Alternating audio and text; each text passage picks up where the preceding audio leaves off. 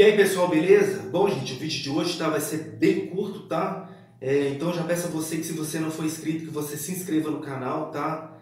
Peço a você também que compartilhe esse vídeo com seus amigos e familiares. E peço a você também aí, gente, que deixe o seu like, porque é muito importante, tá bom? Para o crescimento do canal, tá?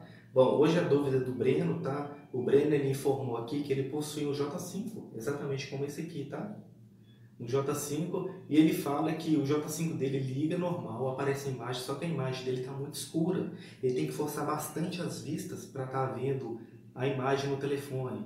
A imagem está escura, ele já viu, ele já colocou a luminosidade todo o telefone o mais alto possível, só que está muito escuro. Chega em determinados locais que ele não enxerga absolutamente nada. Bom, vamos lá.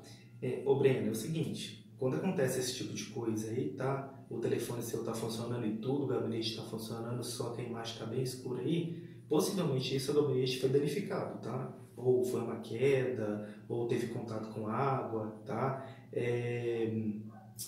é ele está danificado de alguma forma, porque se ele não está aparecendo na imagem por completo, ele está danificado de alguma forma, tá? Eu não sei te falar o, o que, que aconteceu, para estar tá, tá ocasionando essa perda de imagem aí, tá? Essa imagem bem escura aí, tá?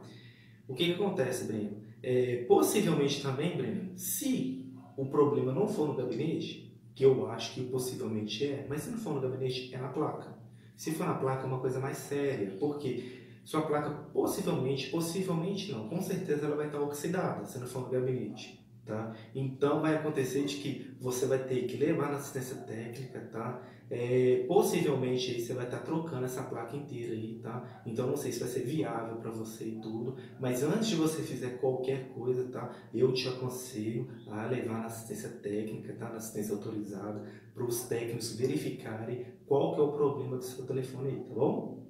Bom, essa foi sua dúvida, tá, Breno? Eu espero ter ajudado você e demais pessoas que estão passando por esse tipo de problema, tá? Se você gostou do vídeo, deixa o seu like e até o próximo vídeo, tá bom?